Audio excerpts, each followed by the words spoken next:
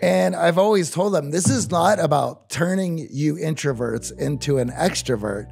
It's about giving you some skills that that allow you to be a little bit more extroverted in an extroverted rewarded world. So just a couple of these things that we sprinkle in and you're going to see the benefits from that in your regular life and you don't have to make radical changes.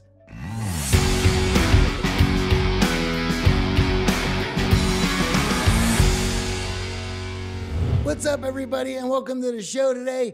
We drop great content each and every week, and we want to make sure that you guys get notified. And in order to do that, you're going to have to smash that subscribe button and hit that notification bell. And if you've gotten a lot of value out of this, make sure you give us a like and share our videos with your friends. Now, the other one that jumped out for me and Johnny is the boldness, regret. I want to take it here because I there was a, a, a, small anecdote that I wanted to put here before we go into this. And the reason that I had gotten involved in self development, it was moving into my 30s, late 20s, staring into my 30s. I realized that I had lived life in a certain manner and I had gotten certain results. And I didn't want to repeat those results in my 30s and realized that if I wanted different results, then I was going to have to make changes. And I decided to get involved in self development as an opportunity to grow, as a way to open myself up to new opportunities, to learn some skills, and to learn to do things differently. And the reason that I was self that I chose self development as the vehicle to do that was that I felt that that getting involved in that would allow me to not have regrets and the, the regrets, the easiest ones for, for me to, to see at that time were boldness regrets, regrets of opportunity, doing things differently to receive different results. And because as a young man, you don't have any other results to compare things to. You're only getting the results to, of the actions and behaviors that you have. So what else is is there? And how do I fig- find that out? And so of course, I didn't want to get to the end of my life saying what if or if only. So I chose self development as that vehicle. And I'm glad that I did because, hey, who knows uh, where the art of charm would or wouldn't be if, if I hadn't chosen that path and had met AJ.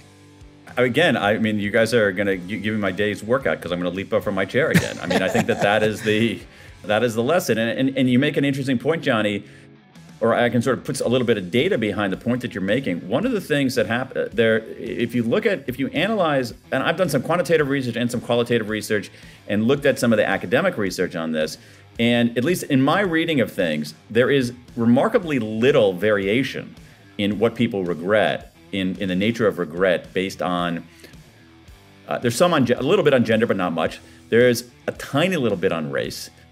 There's almost, there's very little on nationality but on age, there's one important big difference, and, and you hit it, which is that in when people are 20, they have the but there, there are two kinds of there are many kinds of regret, but the two sort of cornerstones of it are action regrets. I regret what I did. Inaction regrets. I regret what I didn't do.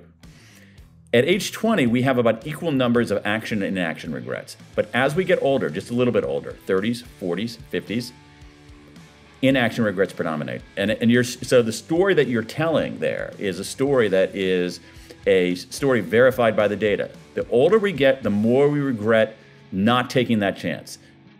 The things that we didn't do rather than things that we did do. In part because some things that we did do, we can repair.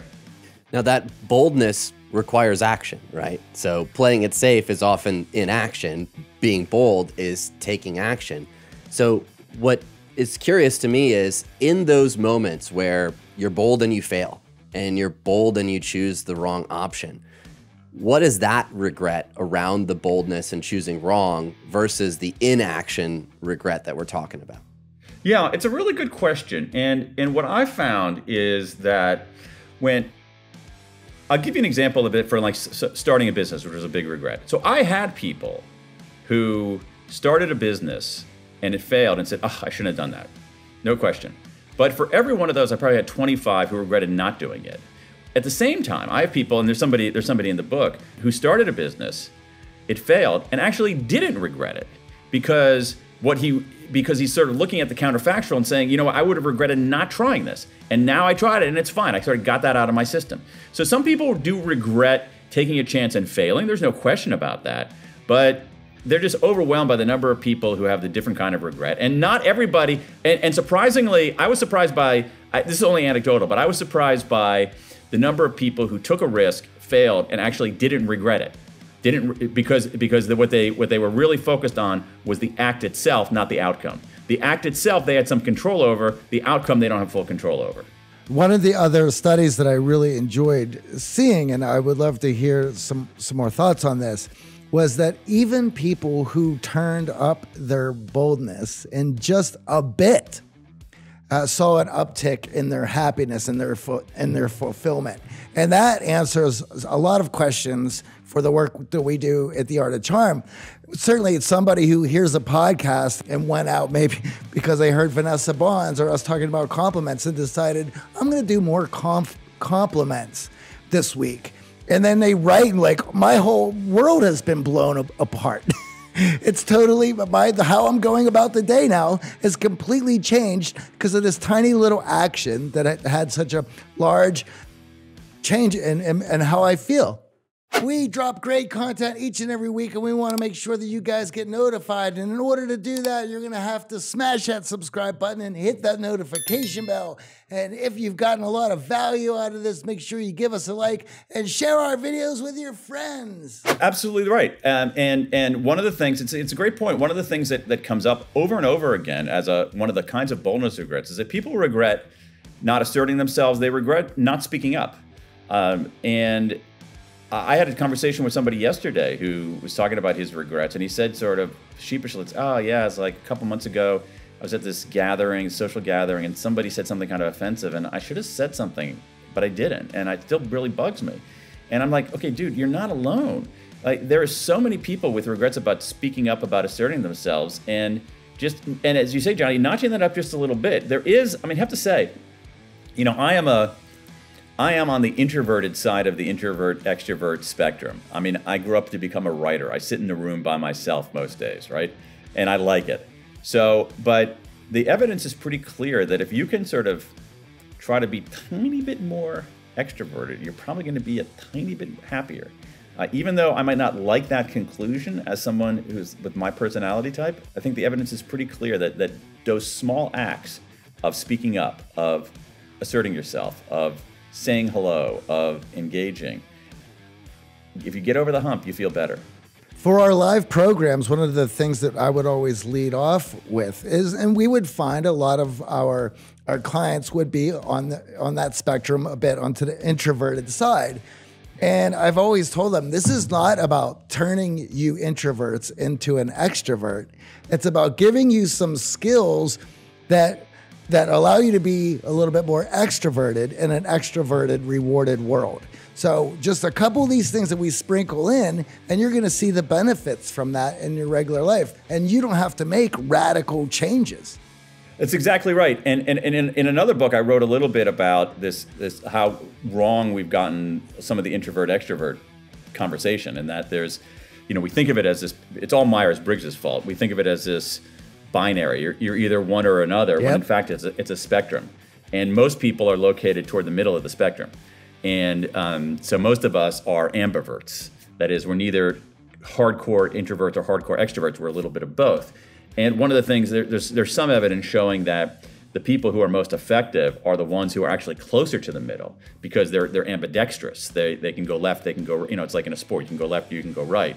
And so most of us are ambiverts. And so what you're suggesting is not you don't, you don't go from being kind of a quiet person to being you know dancing on the table with a light lampshade on your head like this. You go a little bit more toward the center and you go a little bit more to the center i think you're going to feel better and you're going to perform better in, in most cases. The key is just having more tools at your disposal you know? As an introvert if you just approach everything with a hammer it's going to be very difficult to build the house. Sometimes you're going to need a screwdriver you're going to need a wrench so, learning these and having these tools at your disposal, there are times where you should clam up and listen and validate emotions. And there are other times where you, as a leader, have to stand up and speak up. So, we can't look at it as either or. And I love that we made that distinction. what stands out to me around the inaction versus action, and we're going to talk a little bit about what to do with regret and how to use it in, in a meaningful way, is you can't really take a lesson out of inaction. You can't really, by not doing something, there's nothing to learn. By taking the safe road, by not speaking up, by not being bold, by playing it safe, what is the lesson? It's the action that allows the lesson to happen. So even in failure, you could take that lesson and now know, hey, you know, that entrepreneurship, that's not for me. I don't want to be my own boss. I actually like having a nine to five. Or, you know what, opening that dry cleaning business, I hate that business. I don't like dealing with customers. But that's a lesson that you can learn out of action. In action, there's really nothing to be gained. Exactly, except at some level, you've identified why it's a regret because it lingers with you. It, it sort of sticks in your craw. It's not, it's not hot, it's kind of a dull pain and you just can't you, you can't shake it. It's like getting something caught in your tooth. I choose your choose your metaphor, and I think that's why it sticks with people. And you have to you have to you have to do something about it. The other thing about action regrets, if you have a regret about an action, and is is that you, you let's say that you treated somebody unkindly or you did something dishonest, um, and people have regrets about that. In some cases, you can undo those you can you can take an action to reverse the, the, the, damage. You can do something to make restitution. You can you do the other thing the other thing about action regrets is that you can act in some of them, and it's very psychologically healthy in certain cases, is you can you can make it less painful by in an action regret of finding the silver lining. So somebody I talked to again, I mean yesterday, uh, talked about how oh, his big career regret was taking a job at a certain company, which was a disaster. But he said, well, at least I've met my wife uh, so he met his wife at this place. Uh, I have I have in my database, Ken, uh, the universality of these things is crazy. I could probably find you right now 100 people, 99, 99 of them women, who have a regret that goes like this. I shouldn't have married that person, but at least I have these two great kids. Find the silver lining, it softens the blow a little bit. But with inaction regrets, you're right they gnaw at you, they stick with you. And you and the thing is you have to listen to that signal and then do something about it.